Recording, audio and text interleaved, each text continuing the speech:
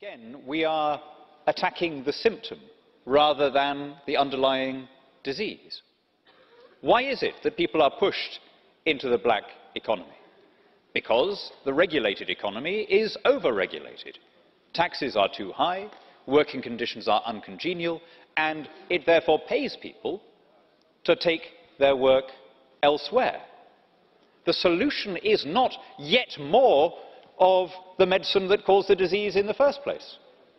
If we have a problem caused by excessive state intervention, we're not going to solve it with yet more state intervention. We could have more and more inspectors and licensors and clerks trying to police a system with a dwindling tax revenue caused by the black economy, but we're simply going to be exacerbating the problem. What's the real answer?